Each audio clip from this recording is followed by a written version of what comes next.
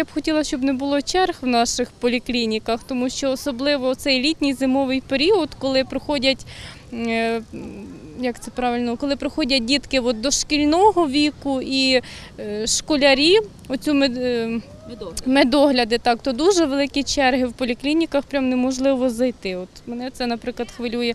Потім безкоштовна медицина. Ну, в нас вона, можна сказати, безкоштовна, але не завжди. Тому що ви самі розумієте. Доводиться доплачувати. Доводиться так.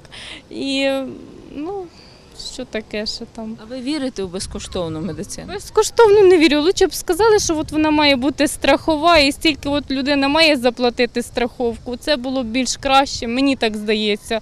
І більш, більш би такому б я довіряла більше, я вам чесно скажу. Тому що я знаю, я заплатила страховку, я пішла і Хтось проконтролював ту послугу.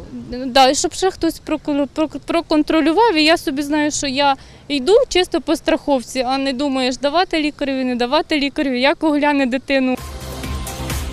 Голос громади має звучати не лише на виборах.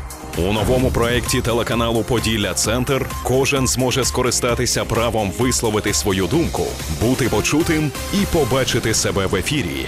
Народна трибуна чекає вас щопонеділка з 18 до 20 години на Майдані Незалежності у Хмельницькому.